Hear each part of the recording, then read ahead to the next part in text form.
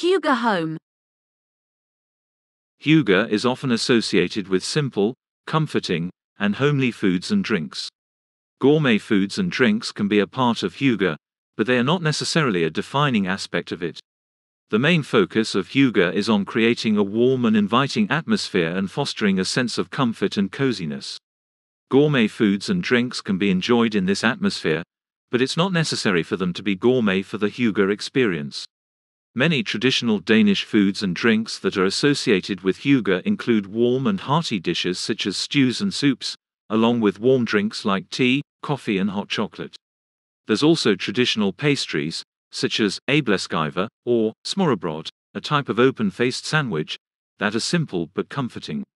It's possible to have gourmet foods and drinks as part of a Hygge experience, but the focus should be on enjoying the company and the moment, rather than on the food itself.